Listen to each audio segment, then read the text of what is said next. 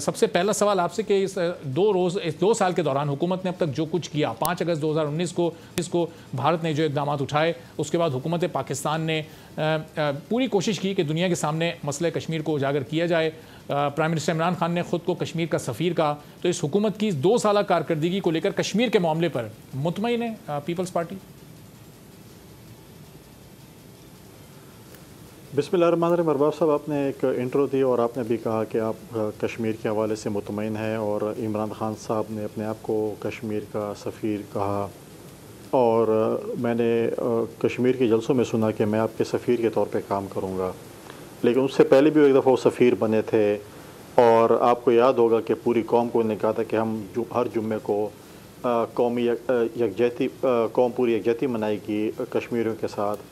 तीन चार जुम्मे को तो प्रोग्राम हो गए पाँचवें जुम्मे को वो प्रोग्राम ख़त्म हो गए। बाकी अब बहाना ये होगा डेफिनेटली पीटीआई के नुमाइंदे ये कहेंगे कि जी कोविड की सिचुएशन थी, बाकी थी बाकी थी। लेकिन कोविड सिचुएशन तो बाकी चीज़ों में भी थी, जलसों में भी थी, बाकी तकारीब में थी। लेकिन कश्मीर के हवाले से क्यों कोविड था थी, क्यों नहीं मनाई गई? फिर कश्मीर की संजीदगी आप देखें कि अमूर कश्मीर के वज़ीर साहब जब आते हैं टीवी पे टीवी कश्मीर के मामले में कोविड का बहाना बिल्कुल नहीं चल सकता चूँकि आज़ाद कश्मीर में जब इलेक्शन हुए तो कोविड का जमाना तो चल रहा था अभी कुछ दिन पहले की बात है। मैं मैं वही बात कह रहा हूँ कि क्यों यकजहती कश्मीर के साथ हर जुम्मे को क्यों नहीं मना रहे फिर उसके बाद। दूसरी बात है जो जब अमूर कश्मीर के जो वज़ीर साहब हैं उनको ये पता नहीं है कि कलभूषण इस मुल्क में है या उसको नवाज़ शरीफ साहब मुल्क से बाहर फ़रार करने में कामयाब हो गए हैं। और ये भी पता नहीं है कि वो उनकी हेयरिंग्स कब हैं, किधर हैं, क्या कुछ नहीं है। तो जो लोग कश्मीर के सफ़ीर बनना चाहते थे, वो तो कलभूषण के वकील बन गए। अब ये चीज़ें जो हैं, कश्मीर के हवाले से जो चीज़ें और देखें कश्मीर एक बड़ा सेंसिटिव इशू है। कश्मीर में इस इलेक्शन में जो हुआ, सारी दुनिया ने देखा। उसमें कश्मीरियों के ज़मीर खरीदे, खरीद, खरीदे गए। उसमें जो है, जिस किस्म के वायलेंस शुदा इलेक्शन थे, वो भी सबके सामने हैं। और आगे देखें कि मतलब है कि अब मतलब है कि हम बड़ी परेशान हैं क्योंकि जिस वक्त चीज़ पे भी वज़ी अजम साहब कहते हैं कि इस चीज़ को मैं खुद देखूँगा तो उसका अल्लाह ही हाफिज हो जाता है। हम्म। तो हमारी दुआ है कश्मीरी भाइयों के साथ बहनों के साथ कि खुदा हमारे कश्मीर को सलामत रखे। अब इमरान खान साहब खुद उनको देख रहे हैं। ऐसा ना हो कि खुदा न खास्ता हम्म। जिन चीज़ों को वो खुद पहले देख रहे थे उनका तो उन्होंने सत्यानाश कर दिया है। खुदा न करे कि ऐसा कुछ हो कि कश्मीर के साथ कुछ ऐसी चीज़ हो। सही। तो अब्दुल कयूम साहब, ये जब एक फरीक किसी भी मामले में अमन चाहता हो और दूसरा फरीक बात करने को तैयार ही ना हो, वो सिर्फ़ जंग पर और जारियत पर उतरा हुआ हो तो फिर इस मामले का हल कैसे मुमकिन है? हम सत्तर सालों से देख रहे हैं, ये मसला अब तक हल नहीं हुआ सूरत ख़राब से ख़राब होती जा रही है। पाकिस्तान मुसलसल अमन की बात करता है और सिर्फ़ सिविल हुकूमत नहीं, बल्कि पाकिस्तान की फ़ौज भी इस मामले में अमन पर यकीन रखती है। जब एक तरफ़ अमन की बात हो और फिर क्या हल निकलेगा इस मामले का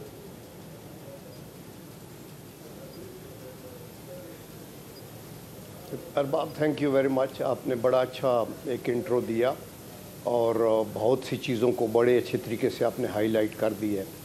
देखिए, मैं ये कहना चाहता हूँ कि एक, दो चीज़ें बड़ी ज़रूरी हैं। ये देखना कि जब पाकिस्तान और इंडिया की तकसीम हुई और ये दोनों मुल्क अलग अलग वजूद में आए तो उस वक़्त एक इंडियन इंडिपेंडेंस एक्ट 1947 जिसको ब्रिटिश पार्लियामेंट ने मंजूर किया। और उन्होंने उसमें कहा था कि जो ये स्टेट्स हैं प्रिंसली स्टेट्स जो जाना चाहती हैं इंडिया से या पाकिस्तान से या उनका जो भी फैसला वो होना चाहिए। इसके बाद नेहरू और वो जो राजा था इसका कश्मीर का उसके आपस में भी माहा हुआ और ये हुआ कि इनको कश्मीरियों को हकाइक हकूक़ मिलेंगे। फिर आपको ये पता है कि यूनाइटेड नेशन के रेजोल्यूशन है बहुत सारे। यूनाइटेड नेशन का चार्टर है, जिसके मुताबिक आगे चलना है। लेकिन फिर जनेवा कन्वेंशन है। अभी दूसरी जंग अजीम में जब तकरीबन पाँच से सात करोड़ लोग सिविलियन मरे तो फिर इनको रियलाइज़ हुआ कि ये Geneva convention one, two, three तो सिर्फ़ फौजियों के लिए है, लेकिन सिविलियन के लिए क्या है? तो फिर एक जनेवा कन्वेंशन नंबर फोर आई, जिसमें ये कहा गया कि कन्फ्लिक्ट में जो घिरे हुए अपने सिविलियन लोग होंगे, जिनसे ज़्यादती हो सकती है वो हम। रोकेंगे और वो नहीं करेंगे। लेकिन इंडिया ने इन सबको नोक पे रख के फेंक दिया। अभी आपका क्वेश्चन ये है कि क्यों ये ऐसे हो रहा है कि एक तरफ़ हम बात करना चाहते हैं वो बात नहीं करना चाहते। ये इंडिया की ज़रूरत नहीं हो सकती कि वो बात ना करे। दी पॉइंट इज़ के दो तीन फैक्टर हैं इंटरनेशनली पहली बात तो ये है कि यूनाइटेड स्टेट यूनाइटेड नेशन जो है ये अदारा ये बिल्कुल नाकारा अदारा है। और ये तफैली है बिग पार्स की और दैट इज़ वाई ये अपने रेजोल्यूशन को जहाँ वो कहते हैं अफ़गानिस्तान पे हमला करना है इराक पे करना है ईस्ट तैमूर को ये करना है सदरन सूडान को ये करना है वहाँ वो कदाफ़ी को मारना है आपने जो मर्ज़ी करवा ले वो होता रहेगा। लेकिन जो कश्मीर का इशू है जो इतना बर्निंग इशू और इतना पुराना इशू है उस पे ऊपर वो जो है यूनाइटेड नेशन का दायरा कुछ नहीं करता बिकॉज़ उसके ऊपर लोगों का वीटो पावर है वहाँ सिक्योरिटी काउंसिल। और यूनाइटेड स्टेट्स ऑफ़ अमेरिका के स्ट्रेटेजिक इंटरेस्ट हैं। चाहता है कि चाइना उसके यूनिपोलर वर्ल्ड के तो, लीडर होने को सही अच्छा अब्दुल कयूम साहब ज़ाहिर है ये जो दुनिया की बड़ी तो ताकतें हैं उसको कंट्रोल करने के लिए इंडिया करारदादों पर अमल करवाने वाले इदारे हैं वो पहले हमारी बात नहीं सुन रहे। और हम इस मामले को यहाँ सियासत की नज़र कर रहे हैं। नून लीग इमरान खान को कश्मीर फरोश कहती है। इमरान खान नून लीग पर इल्ज़ाम लगाते हैं। बिलावल भुट्टो नवाज़ शरीफ को कहते हैं कि वो मोदी के यार हैं। तो ये यहाँ पर इस तरह सियासी तौर पर इल्ज़ाम तराशियाँ करके दुनिया के सामने हम कश्मीर के मुकदमे को खुद कमज़ोर नहीं कर रहा आपकी नज़र में? जी अरबाब ये बड़ा वैलिड आपका पॉइंट है। मैं ये समझता हूँ कि पिछले सत्तर सालों में हर हुकूमत ने अपनी एक एंडेवर की है। उसमें लू पोल ज़रूर होंगे मौजूदा हुकूमत समेत। आप ये देखें कि अयूब खान ने तो एक लड़ाई मूल ली 65 की ये जब जब्राल्टर ऑपरेशन कश्मीर के रिलेटेड था। इसके बाद मैंने सुना है जो जनरल ज़ियाउल हक भी अपने टाइम पे कहते रहे जुल्फ़ार अली भुट्टो जो है, वो पेश पेश थे ओआईसी की मीटिंग्स कराई और बेनज़ीर भुट्टो साहबा के साथ मैं रह के भी देखा। कोई पॉइंट वो मिस नहीं करती थी, जहाँ कश्मीर की बात नहीं करती थी। इसके अलावा आप ये देखें कि परवेज़ मुशरफ साहब ने कुछ लूज़ बाल्स भी फेंके, लेकिन कोशिश उनकी थी कि कश्मीर का मसला लो उस पर लोग मोतरज़ हुए। नवाज़ शरीफ साहब ने भी अपनी पूरी एफर्ट की और यूनाइटेड नेशन की इनकी स्पीचेस सारी सुन ले, जाके देख ले। इसी तरह इमरान खान साहब ने भी जो स्पीच की यूनाइटेड नेशन में और ये कहा कि मैं ये करूँगा तो मेरे ख्याल में इन चीज़ों को हमें मौजू बहस इससे हम कमज़ोर होंगे हम ताकतवर नहीं होंगे।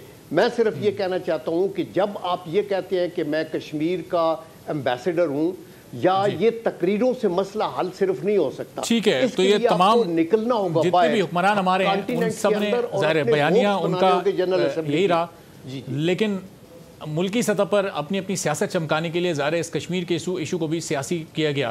फैसब जब ये सियासतदान एक दूसरे पर कश्मीर के मामले पर इल्ज़ाम लगाएँगे तो हम अक्सर ये सुनते हैं, हुकूमत से भी, अपनी फ़ौज से भी, कि ये कश्मीर का मुकदमा किसी एक ने नहीं लड़ना, ये तमाम पाकिस्तानियों ने लड़ना है। तो एक आम पाकिस्तानी फिर कश्मीर का मुकदमा कैसे लड़ सकता है, जब एक पार्टी दूसरी पार्टी पर कश्मीर फरोश होने का इल्ज़ाम लगाए?